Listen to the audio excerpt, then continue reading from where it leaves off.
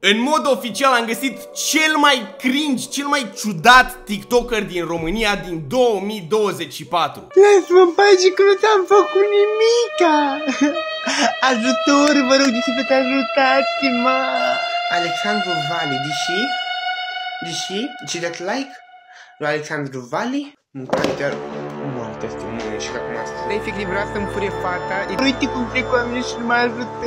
Te-am spus că tine a fost doar o aventură. Fraților, de când fac YouTube și până acum, fără nici cea mai mică glumă, n-am primit atât de multe cereri să fac un videoclip niciodată. Am primit taguri zilnice, cred că zeci de taguri, mesaje pe Instagram și așa mai departe. Am evitat să fac videoclip despre turbatul ăsta timp de două săptămâni, dar, uh, na, într-un final, iată că m-ați disperat în halul în care n-am ce să fac. Astăzi vorbim despre Ezechiel. Așadar, luați-vă ceva de ronțăit, luați-vă ceva de băut și înarmați-vă cu excepțional de multă răbdare și puneți-vă eventual pălăria anti-cringe ceva pentru că o să fie, o să fie jale.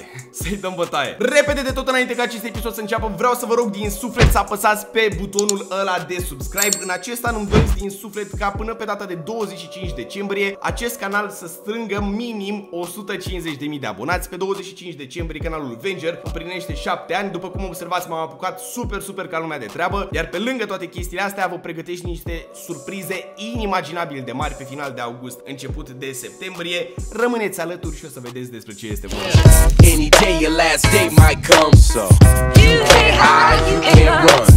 Bun, după cum am spus și mai devreme, fraților, astăzi vorbim despre Ezechiel. Dacă nu știți cine este Ezechiel, mă mir, pentru că mi-a trimis, băi, enorm de mulți. Deci enorm de mulți mi-a trimis dubioșenia asta de om și pe Instagram, și pe TikTok, și pe, pe Snapchat. Nu mi-a trimis, cred, nu mai am așa ceva, dar, măi, sunt plin pe toate părțile, m-am mai întâlnit cu voi și pe la festivalul și așa mai departe. Mi-a spus fac clip despre Ezechiel, iată că asta facem. Băi, eu știu pe omul ăsta, să fiu sincer cu voi, de cred că de vreo 3 sau 4 ani de când făcea videoclipuri în care testa dulciuri împreună cu sorsa mai mică. Bă, era el ciudățel de pe atunci, mai făcea niște dansuri ciudate, mai spama un dans, un emote, ceva foarte, foarte ciudat la vremea respectivă. Însă, după, a început să, să o ia randeaua. A luat-o naș parău de tot. Vorbim de acum un an sau ceva de genul ăsta, când a fost tot scandalul ăla cu Mario Simen. Ezechiel era unul dintre puținii care îi luau apărarea lui Mario Simen și susțineau că, bă, n-a greșit atât de mult. Înțelegeți speța omului, cumva aici vreau să bat. Nu mai lungim inutil și începem cu primul videoclip. Am fost răpit de către amantul meu cu 10 bombardieri care efectiv m-au legat de un copac mare în inima pădurii. Simțiți sau? Băi, de la mine, de unde? Miroase a schizofrenie așa pe aici. Ai! Stați mă, doar ne uitați la 6 secunde din clipul lui Ezechiel, mă frate. Nu, e, e, e ok, da, calmați-vă, e, e chill. Efectiv m-au legat de un copac mare în inima pădurii. Sunt tare curios uh, cum mama dracului i-a venit lui această idee. Cum stătea el acasă și a zis, bă, trebuie să filmez, n-ai ceva, trebuie să fiu și dubios, poate fac Venger ăștia, băieții cu reacturi, videoclip despre mine. Iată că asta s-a întâmplat și iată că a venit și cu o idee foarte bună. Amantul lui împreună cu 10 bombardieri chiar l-au răpit, confirm eu sunt amantul, împreună cu alți 10 bombardieri l-am legat pe Ezechiel de acel copac cu celofan. Nu-i celofan, cum se scrie mă, cum e, cum e de fapt? Celofan, cu celofan, stați așa că lucrăm la radio, nu ne permitem, da, să facem astfel de mizeriuțe, mă scuzați pe mine. Și sincer să vă zic că am scăpat foarte, foarte greu, dar bine că am scăpat cu viața, dar sincer să vă zic... Ah! Băgă! A scăpat, mă, nu, nu, e de bine, e de bine, e bine, Ezechiel, că ai scăpat de acolo, ce păcat ar fi fost să rămâi legat de copac. Să vă zic că am rămas traumatizat după ce am scăpat, am încercat să găsesc drumul spre casă, l-am găsit foarte, foarte greu. Am ajuns acasă, m-am dat... Ah! A, nebă! A ajuns acasă, băi! Bă, asta înseamnă că așteptăm videoclipuri! Ezechiel, continuăm, continuăm. Acum să vedem uh, și urmarea. Ne-am uitat la 20 de secunde deja și simt brain rotul la maxim. Deci creierul meu este într-o stare avansată de uh, degradare. Nici nu pot să vă des... Ați înțeles? Da, deci ați înțeles despre ce vorbeam, am încercat eu să spun aici ceva, n-are niciun rost, hai dăm cu videoclipul că eu pe vorbe acum nu mai, nicio șansă. Cu puțin apă pe față să mă pregătesc să merg la poliție pentru că efectiv nu mai aveam efectiv aer, m-am dat cu o cremă. Deci de asta se ducea Ezechiel la poliție și de asta te duci în mod normal la poliție în momentul în care nu ai aer, suni la poliție în momentul în care cineva îți fără ceva din casă, bineînțeles, suni la pompieri ca să vină să-i ude pe hoți și să-i uh, umilească, iar în momentul în care ferească Dumnezeu se întâmplă ceva uh, arde casă sau așa mai departe, chemi un doctor să te consoleze. Asta, mă, mai avem 4 secunde de videoclip. Am dat cu o cremă la nas pentru că nu mai puteam să respir și cam asta este, vă țin la curent.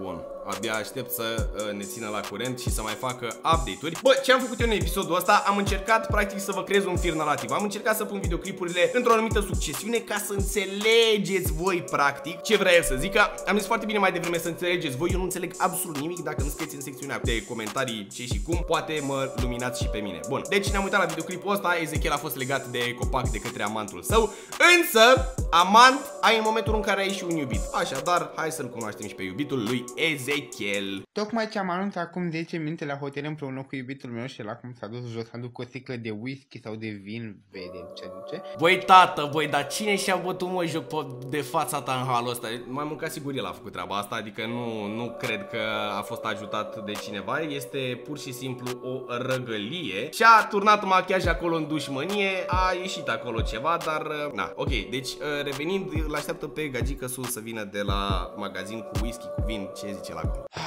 Oh my god, nu știu, mă simt așa fericit, m-a făcut fericit iubitul meu. Și după ce se închide acest clip, o să mă facă și mai fericit. Oh my god. Vă gândiți și voi la ce mă gândesc și... NU! Nu vreau să mă gândesc la... Nu vreau să mă gândesc la ce te gândești și tu nu vreau. Nu vreau cu toate că, în mod inevitabil, s-au format acolo niște imagini. Cred și eu că abia așteaptă domnul iubitul tău să îl f***ă pe... Aoleu, doamne, ce-am spus? Vai, ce rusine, ce rusine, mă scuzați pe mine, rectificăm. Cred că abia așteaptă iubitul tău să-l sichișmiș pe clovnul din Tupilați. Mai mult ca sigur este o nerăbdare în sufletul lui, ceva de nedescris. Nu, no, vă pup, eu vă las că întreabă. Poate vă mai fac un update. Sau poate nu, sau poate ne gândim serios și poate îți place atât de mult toată situația și deodată ai o revelație, hop, îmi închid contul de TikTok. Eu personal aș fi foarte trist și mulți alți oameni, dar cred că te-ar ajuta, nu știu de ce. Cred că ar fi benefic pentru tine. Pe ce secție machiajul? Ce mă, ce ai zis? La ce secție e machiajul? Ce ai zis la final? Pe ce secție machiajul? Da, n-am înțeles absolut nimic. Deci e și pe ora 4 dimineața când filmez. Dacă ați înțeles ce ai zis la final acolo, scrieți-mi în secțiunea de comentarii. Brain rotul continuă. Ok, uh, acum întrebarea pentru voi uh, sună felul următor. Ce credeți? A venit sau nu cu update? Nu, păi eu nu o să fac niciun sex cu tine dacă tu nu ai prezervativ efectiv. Păi ți-am zis că vreau să ne protejăm. Bă, aici, real vorbind de Ezechiel, nota 10, foarte bine, uite, omul nostru promovează uh, sexul protejat, nu e un subiect tabu, mi se pare foarte, foarte corect și mi se pare foarte bine să stai să promovezi treaba asta, poți să iei o grămadă de boli și așa mai departe, Ezechiel, nota 10, vrea să facă sichiș mici la pârți, cel mai probabil protejat, foarte bine. Te caută în gemantan acolo. Să vezi dacă ai, nu bun. Hai caută, că nu mai fac nimica cu tine. Nu mai fac nimica. Deci voi, nu mă fac, nu mă fac nimica! Te, de te morții tăi! De, da, de la, nu mai fac nimica! Acum ce mi se pare mie și mai interesant de atât este că, bă, voi, voi vă dați seama de toate chestiile astea, adică nici nu cred că mai are rost să mai discutăm despre asta, el nu vorbește cu nimeni acolo, este el și cu punctul în care se uită într-un mod foarte dubios, uh, unde își păstrează privirea. Cel mai probabil, după videoclipurile de genul ăsta, se lasă cu sichișmiș singur, ați înțeles ideea? Nu eu, nu eu! Deci stați așa să ne înțeleg el, da? Despre el vorbeam să nu cumva să se înțeleagă ceva, Doamne ferește, în ce căcaturi mă bag singur. Ah! Să ne protejăm și noi, frate, că așa e ok, nu? Să nu umplăm casa de copii. Asta era!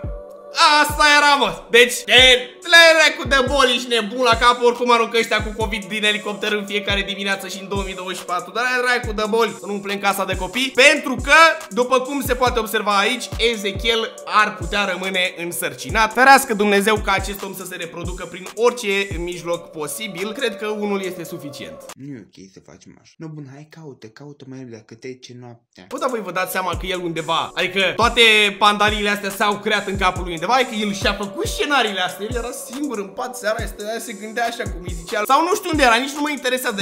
El chestia astea le-a gândit de dinainte, că mă îndoiesc că e freestyle așa, tot, tot sketch-ul ăsta. Bun. Deci, până acum ne-am înțeles. Da, prima dată, amantul lui Ezechiel împreună cu 10 bombardieri l-au răpit. După el s-a dus cu iubitul său, da, la hotel. Era fericit de nu mai putea. Acum s-a rupt lanțul de, de iubire, pentru că, da, domnul iubitul lui Ezechiel n-a venit pregătit. Iar după toată chestia asta... Lasă-mă în că nu ți-am făcut nimica!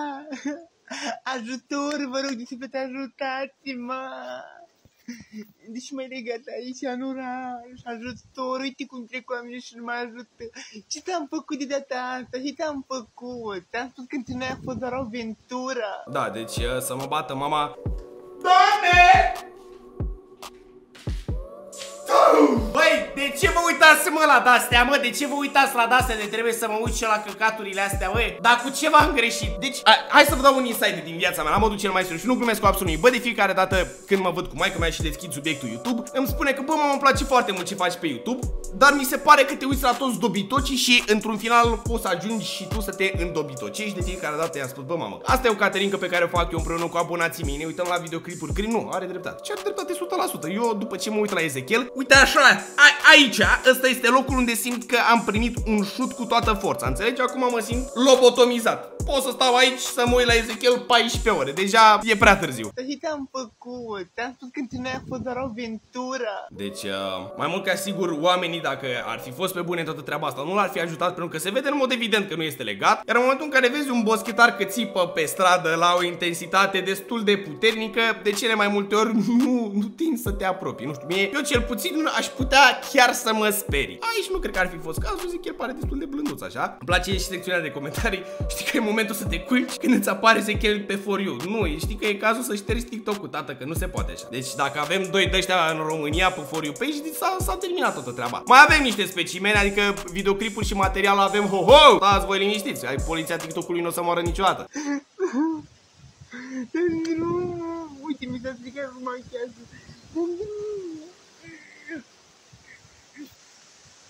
Dă-mi drumul, dă-mi drumul!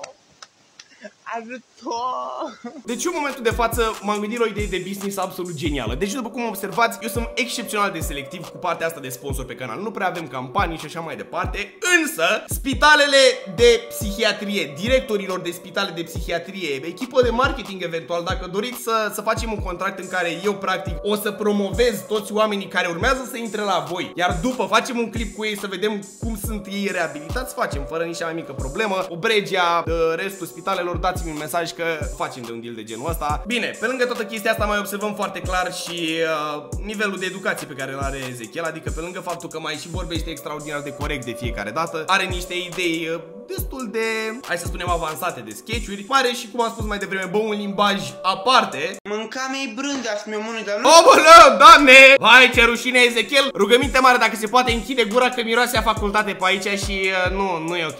Nu da chipsuri la fată, că moare, se neacă. Doamne, în România o bucată de aia în gât moare. Nu-i da. Dă-i pepeni, dă-i pepeni, uite, așa, aia. Așa, ia.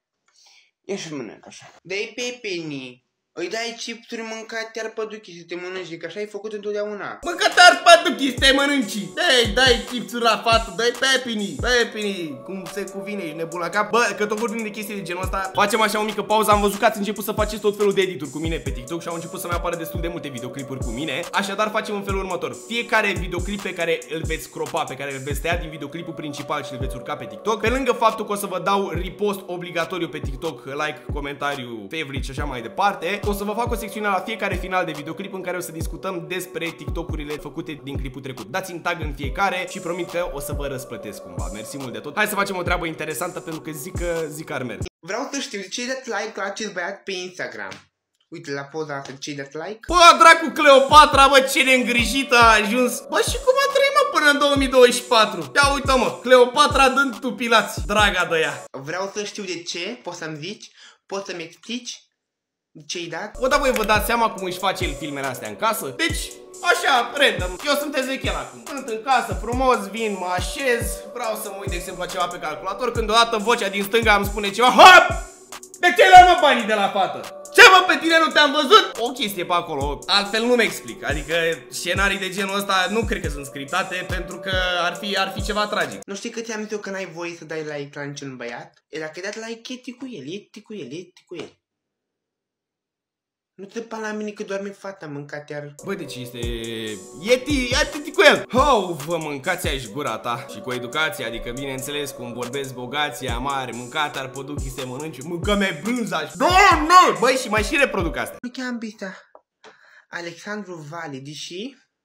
Deși... Ce dat like? Lui Alexandru Vali? Ești turc? De ce ai dat?